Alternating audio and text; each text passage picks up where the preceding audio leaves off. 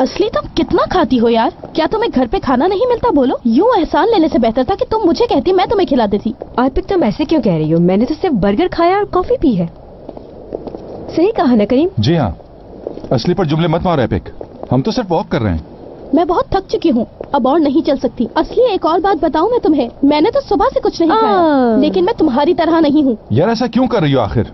Epic सुबह से तुमने कुछ भी नहीं खाया यार ये भी तो समझी? तुम्हारा ऐसे भूखे रहना बिल्कुल ठीक नहीं है। देखो तो जरा सूख कर काटा हुई जा रही हो। मुझे तो ये फ़िक्र खाई जा रही है कि जब हमारे बच्चे होंगे तो फिर आईपिक करीम बिल्कुल सही कह रहा है। समझो इसे। उस वक्त बहुत ख्याल रखना पड़ेगा अपनी डाइट का तुम्हें। या अल्लाह ये किस तरह के बेवकूफों में आके फंस गई हूँ मैं? मुझे नहीं।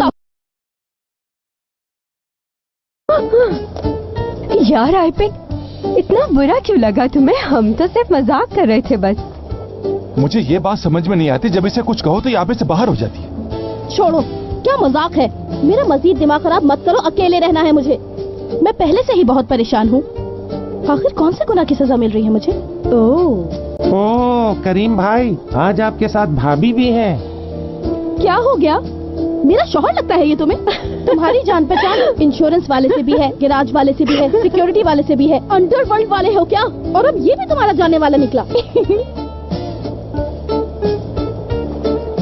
क्या ये ले सकते हैं?